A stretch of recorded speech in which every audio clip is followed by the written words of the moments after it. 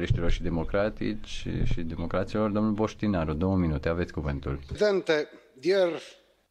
Vă mulțumesc, domnule președinte, stimat înalt reprezentant, dragă Frederica, sau cum să-ți spun, sfârlează, pentru că trebuie să alergi dintr-o parte într-alta. Astăzi dezbatem două dintre cele mai importante rapoarte pe care le-a discutat vreodată Parlamentul European, raportul Galler și raportul McAllister. Provocările cu care ne confruntăm, confruntăm devin din ce în ce mai presante.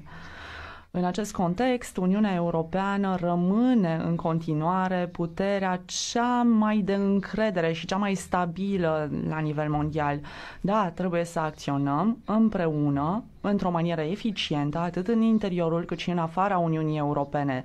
Trebuie să ne protejăm cetățenii și să ne ajutăm partenerii pentru a face față provocărilor externe, fie că vorbim despre războaie convenționale sau hibrid, atacuri cibernetice sau orice altceva, cooperarea în cadrul PESC și uh, PSAC este singura posibilitate pe care o avem la dispoziție. Doar astfel putem evita dublarea eforturilor. Bineînțeles, stimați colegi, e nevoie și de un buget pe măsura acestor provocări și ambiții, atât la nivel național cât și la nivel european de la adoptarea strategiei europene cu privire la politica externă și uh, de securitate, s-au adoptat o serie de noi uh, măsuri, precum Fondul European de Apărare, uh, programul de dezvoltare industrială în domeniul apărării, etc.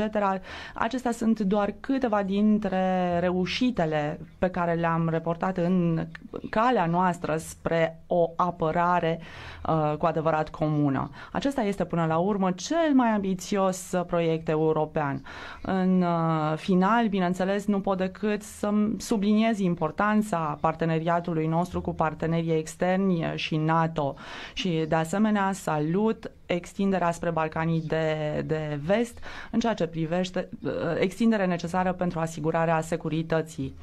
Cer, bineînțeles, toate, tuturor statelor din regiune să se alinieze la standardele europene în domeniul securității și apărării și uh, solicit de asemenea deschiderea cât mai rapid cu putința a capitolului 31 din negocieri.